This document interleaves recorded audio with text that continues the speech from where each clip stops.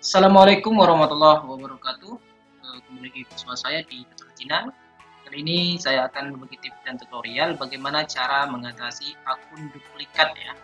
Di sini kita akan memperbaiki masalah yang kita temukan untuk menghubungkan akun AdSense ke akun blog maupun akun YouTube ya.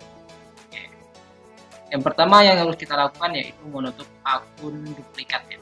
Langsung saja kita ke caranya.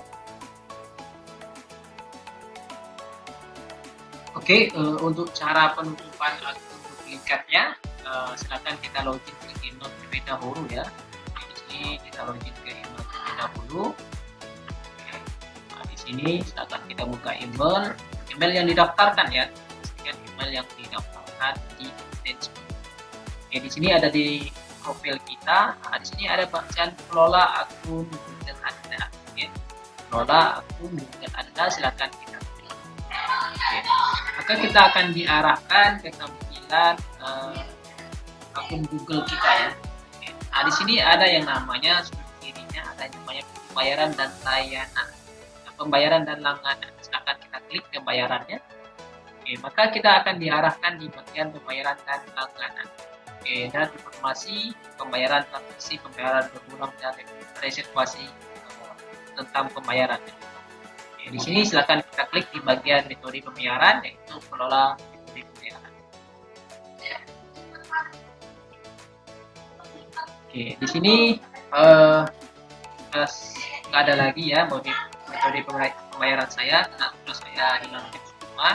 Oke, di sini uh, di bagian setelan atau di bagian uh, alamat ini Nah, di sini ada alamat duplikatnya gitu ya. Oke. Tentunya kita harus klik di bagian setelan. Bagian setelan ini, oke. kita geser ke bawah ya. Oke. Kalau pembayaran juga bisa di sini.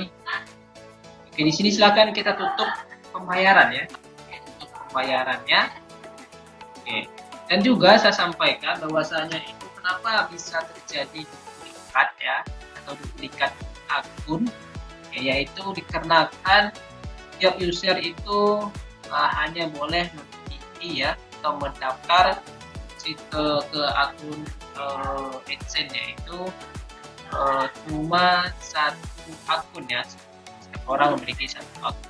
Jadi ketika kita menggunakan Google AdSense maka otomatis akan dikatakan dan juga masalah akun AdSense ini uh, ditolak juga karena terindikasi ya kita memiliki dua akun di satu perangkat.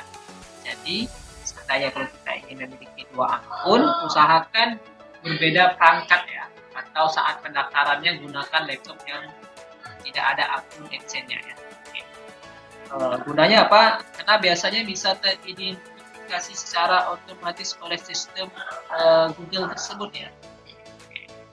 Nah, jadi untuk menghindari akun ini saya sarankan kalau ingin mendaftarkan akun yang baru gunakan uh, sistem operasi yang berbeda ya. Oke, di sini silahkan kita cek atau kita tutup pembayarannya ya. Kita tutup pembayarannya. Ya. Silakan kita masuk password kita ya. Oke, untuk masuk password saya uh, Oke, silakan uh, berikutnya kita login oke. Kelola uh, ada penutupan pembayaran. Sebelum melakukan pembayaran tutup ya. Oke. Karena dapat itu harap selesaikan. Oke kita oke. Kan oke. Sudah ya? Sudah sudah selesai. Mudah-mudahan teratasi ya. Oke sekian. Tutorial singkat dari saya. Semoga bermanfaat. Jangan lupa dukung dan support ini di channel subscribe like, komen, dan share sebanyak-banyaknya. Saya dengan wassalamualaikum warahmatullahi wabarakatuh.